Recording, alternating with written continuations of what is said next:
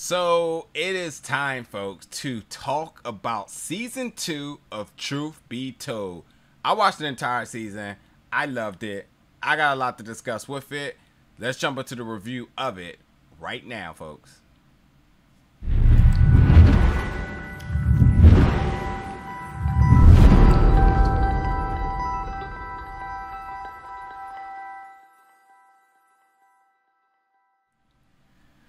What's up, everybody, and welcome back to the channel today for another review. And as I said, we're going to be reviewing season two of Truth Be Told, which is going to be releasing on Apple TV Plus starting Friday, August 20th.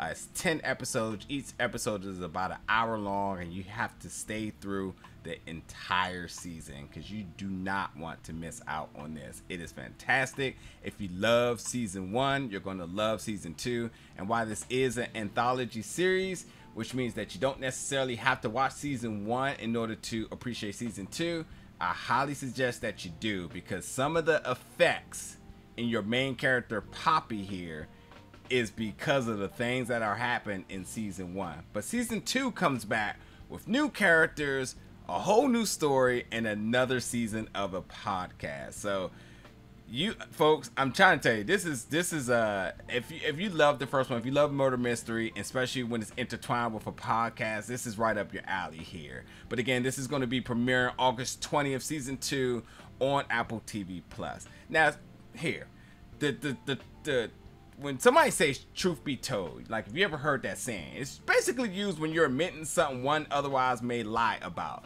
So when you when you think about just the statement and the title of it, you start to wonder what does that and how does that imply into this season? Well, this season, Kate Hutchinson now stars as Micah Keith. She is a media mogul. She has a cult following to a T. And she is childhood friends with Poppy. And Poppy, you know, if you don't know who Poppy is now, Poppy is your main character. She is uh, you know, the host and the the, the creator of the podcast that has solved the mystery in the first season and put her in a lot of danger. So now she's back and she's kind of weighing her options because one, she is devoted into doing that but she understands the risk of doing it because everybody had a target on her back. But so uh, Micah and Poppy, they're childhood friends, and the two of them are put to the ultimate test, and that's to solve the crime of Micah's husband, Keith. Who I mean, not Keith, because that's their last name. I keep want to say that Josh, uh, Josh Keith, uh, who was murdered, and you know, Micah says, you know, I need you. You're my friend I need you to, to investigate this because the cops came in and they saw it as a, uh, uh, a, a suicide, um, uh, a homicide, uh, suicide, homicide murder, a murder, a murder homicide, a murder suicide. Excuse me, jeez. and they they quickly closed the case, and you know Micah did not believe that that sufficed. So she said, "Poppy, I need you. I need you to investigate. I need you to do another season of your podcast." And that that's that's problematic for her because of all the dangers she encountered from doing it the first time, and some of those dangers decide to come back into play season two. Um, but ultimately, in doing so, Poppy decides that she'll do it for a friend. But this now puts the two of them on a journey where we see two childhood friends who might as well be sisters go almost I mean, turning against each other and ultimately wanting to demise one another in the sense of still loving each other, but it's an all out war. And we're going to see the two of them tested like no other. So, this season really turned everything up a notch. Everything. Uh, every bit of this show felt elevated. The cinematography, the plot, the drama, the score, everything was brought to the next level in this season. Um, and when you when you when you think about Kate Hutchinson being a reoccurring character, you know there's another level of stardom here, and she and her presence as Micah Keith is really felt. And you know the fact that her husband Josh died in another man's arm ultimately makes this case even more interesting because they've been married, and you're like, well, who is this other guy? I've never seen this guy. I've never heard of this guy.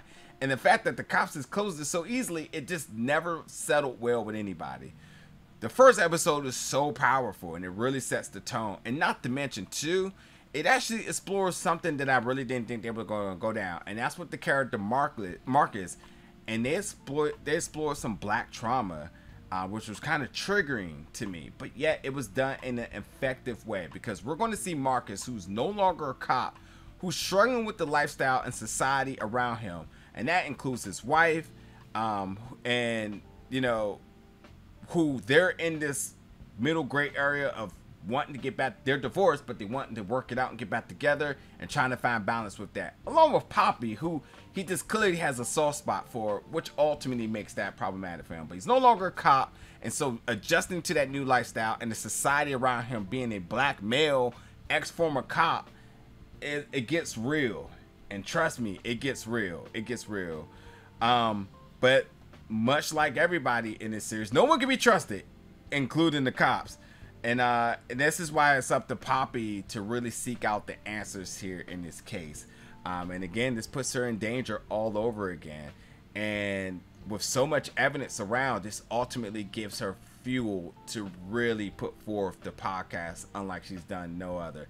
And quite frankly, with everything that's happening around her in her life, she can almost make material from everything. It seems like drama and mystery just follows her in so many different things she does. So if it wasn't this murder, she could have easily had another season about something else.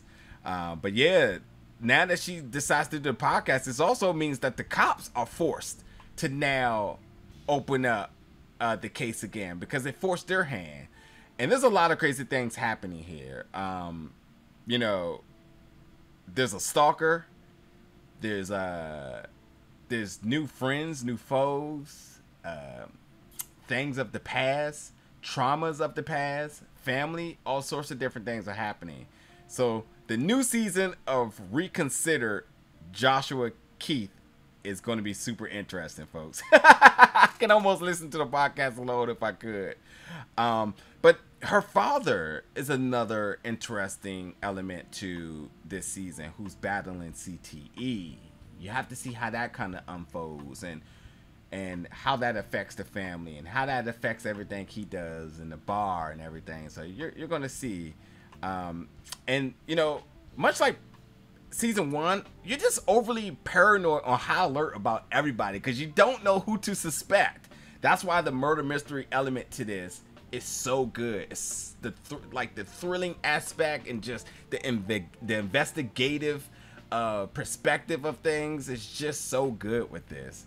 Um, and again, I, I, again I don't think you have to watch season one, but like season one does show you the repercussions of everything that happened. How does that come into effect this season with the podcast? And as much as I loved Aaron Paul in the first season, and I missed him, he's one of my favorite actors. This season truly doesn't have any slack. And I thought Kate Hutchinson was an amazing pickup um, and, and, and, and re- recurring actor uh, for this season. So, uh, what else I want to talk about with this too? So, there's a, there's a there's a lot of interesting things about these characters here in this season because eventually everyone starts to show their true color and their true nature, and Markus happens to be the character that is just completely everything. He's my favorite character this season, and no matter, uh, and it's interesting that no matter how far apart his life and Poppy's life tend to go apart, they always find themselves coming back together. Uh, and it's kind of cute, but it's super dangerous at the same time. Uh, and again, everything she does in regards to that podcast is just completely trouble. but her skills are so beneficial that everybody wants to utilize them, and she knows she's good at it. Um, and the other thing is because she's so good at it, she's obsessed, and that's also a really tricky avenue to kind of dance around. Episode four is my favorite episode, I believe, this season. Maybe even six or seven. I can't believe, remember what it was, but episode four surely is one of my favorites. With just the action, the suspense, the drama, how things unfold, it gets crazy. Um, another thing to kind of talk about with Poppy here is that because we get to go back into her backstory along with Micah, we get to see her childhood and we get to see not only their friendship but the trauma that the two of them have been through together and why they're so close and why even though um at times it seems like the wars against one another instead of them being together trying to solve the murder we see why they ultimately have love for one another. And it's it's a really good story arc between the two of them.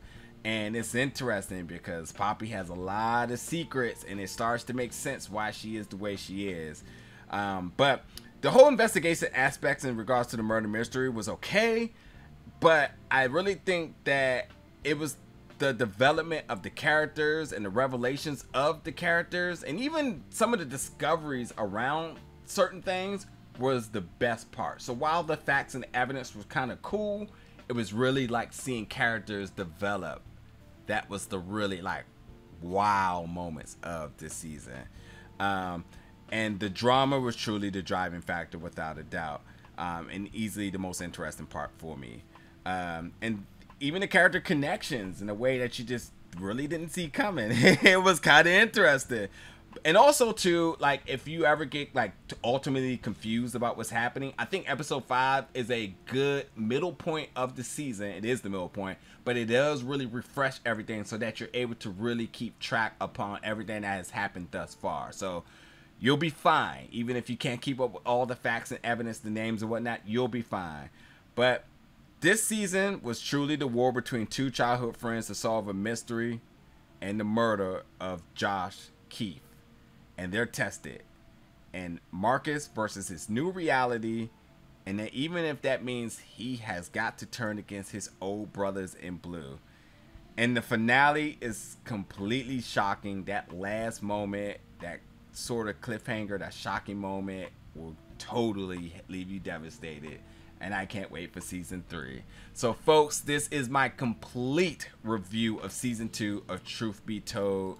This was a fantastic season. Um, I really, really liked it. I hope you all get to, a chance to check it out. Um, you don't want to miss this one. If you have a chance, you definitely want to go ahead and check out um, season one before season two drop.